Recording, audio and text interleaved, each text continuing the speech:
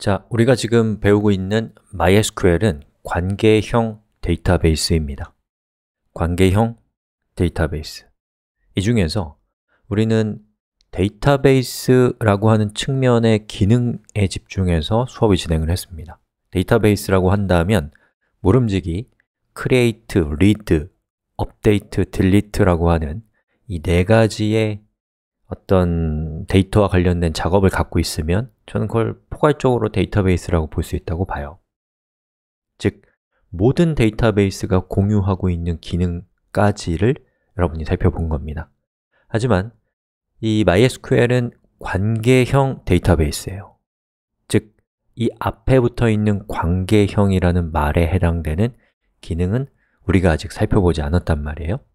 그래서 제가 어제부터 되게 깊은 고민에 빠졌습니다 뭐냐면 데이터베이스까지 하고 수업을 끝낼까?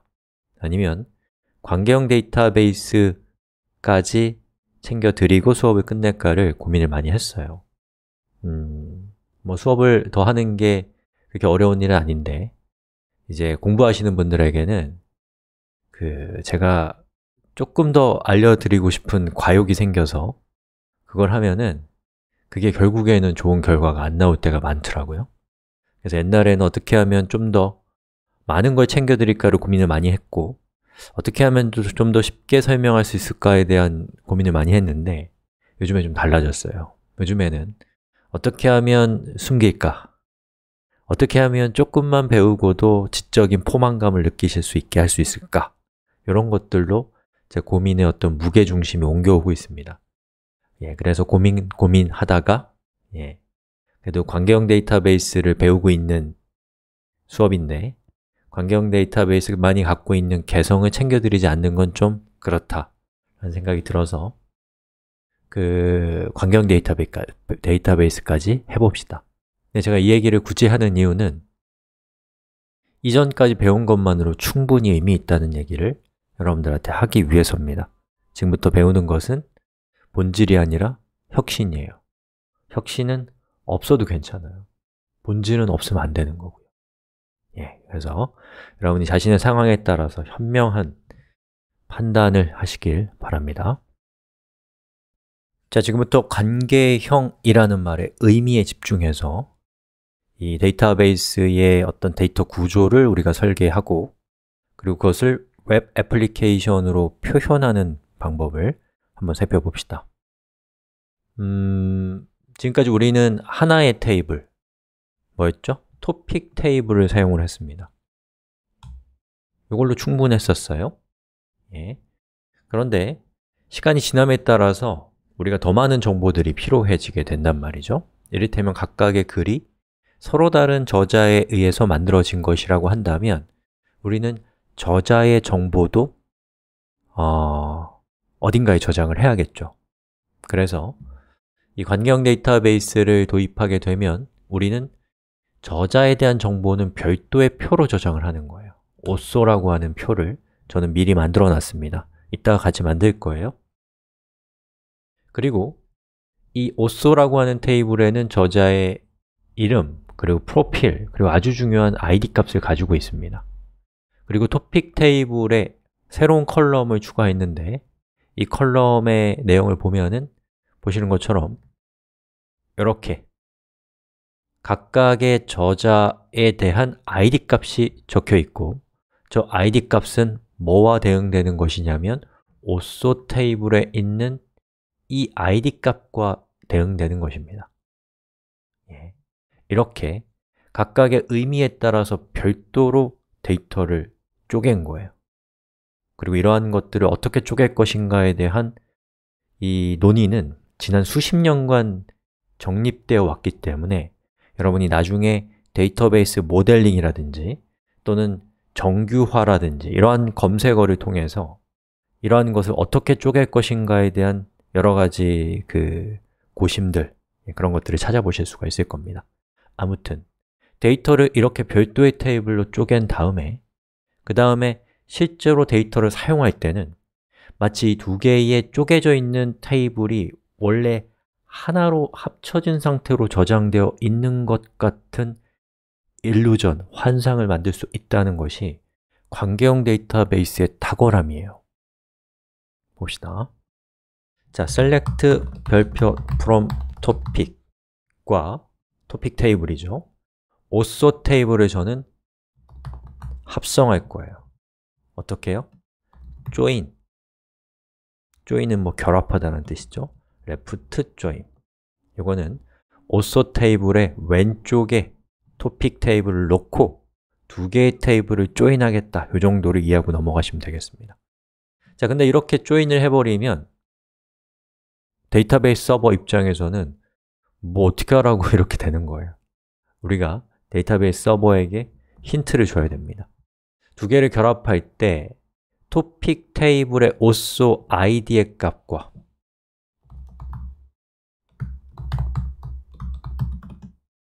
also 테이블의 id의 값이 같다.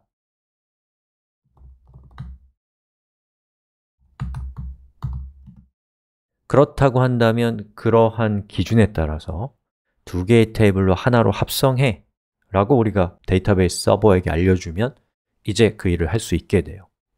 엔터. 자, 어때요? 여기 보시면 also id의 값과 also 테이블의 id 값을, 값이 정확히 같잖아요. 즉, 저 값을 기준으로 해서 두 개의 테이블을 합성한 것이에요. 그럼 이제 우리는 이렇게 하게 되면 마치 이 두 개의 테이블이 합성된 상태로 저장이 되어 있는 것 같은 이 환상을 만들어 주는 것이죠. 누가요? 데이터베이스 서버가요. 자, 그러면 그렇게 해서 만들어진 데이터베이스를 backend로 해서 예, 뒷단으로 해서 앞단은 어떻게 보여지게 되는가를 살펴봅시다. 자, 지금 보고 계신 이 웹페이지는 예, 이렇게 달라진 데이터베이스를 기반으로 해서 만들어진 웹 애플리케이션을 보고 계십니다. 어, 여기에서 이 글목록을 클릭하면 여기 보시는 것처럼 이제 저자에 대한 정보가 표시가 돼요. 그리고 이것이 가능한 이유를 SQL 단에서 살펴보면 은 자, 여기에 있는 코드를, SQL문을 이거 우리 이따가 살펴볼 거예요 제가 화면에 출력해 보면 이렇습니다. 즉, join이라고 하는 걸 이용해서 토픽 테이블과 also 테이블을 결합하고 예, 그것에 대한 결과를 가져온 다음에 그 중에 also에 대한 정보를 이렇게 by going to 이런 식으로 적어 놓은 것이죠. 그리고 also.라고 하는 링크를 만들어서 also.php라고 하는 페이지로 가게 되면 also.php에는 보시는 것처럼 글목록은 없고 예, 그 저자들에 대한 정보가 쭉 화면에 출력되는 표가 나옵니다. 예, 그리고 여기에서 제가 리체 디자이너 하고서 create also 라고 하는 also는 저자죠. 클릭을 하면 보시는 것처럼 성공했다고 뜨고요. 어, 돌아가기 했는데 일로 가는 것보다는 여기로 왔으면 좋겠는데. 자, 바꾸면 되죠. 이 리체라고 하는 그 사람이 추가가 된 걸 볼 수가 있습니다. 이렇게 그 저자에 대한 정보를 관리할 수 있는 페이지를 우리가 또 만들 거고요. 다음에 여기서 뭐 업데이트를 하면은 여기서 이름을 바꿀 수도 있고 딜리트를 하면 삭제가 되겠죠. 다시 토픽으로 돌아와서. 이제 우리가 글 작성을 하게 되면 예전과는 다르게 어디가 달라졌나요? 보시는 것처럼 이렇게 저자를 선택할 수 있게 되었고요. 저자를 선택하고 서브밋을 클릭하면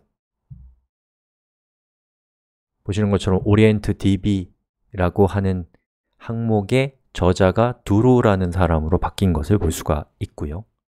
그리고 현재 두루는 orientDB라고 하는 글과 어, 어, SQL 서버라고 하는 이 두 개의 글에 대한 저자가 두루님인데 제가 오소로 가서 여기 두루라고 되어 있는 부분의 이름을 두루 강으로 이렇게 성을 붙이고 업데이트를 하게 되면 자, 보시는 것처럼 이렇게 이름이 변경되었고 테이블로 가서 SQL 서버로 가면 보시는 것처럼 변경된 이름이 반영되어 있는 것을 볼 수가 있습니다 자, 뭔지 아시겠어요? 예, 우리가 뭘 할지를 먼저 알아야지 제가 설명하는 것들이 덜 헷갈릴 거 아니에요? 그리고 또 하나는 이 테이블이 하나가 추가되면 우리의 웹 애플리케이션의 복잡성이 기하급수적으로 증가해서 사실 본질적으로는 복잡할 것이 없음에도 불구하고 훨씬 더 복잡해집니다. 자, 그러면 우리 다음 시간부터 이제 한번 해보죠. 실습 내지는 복습 정도 느낌으로 보시면 되겠습니다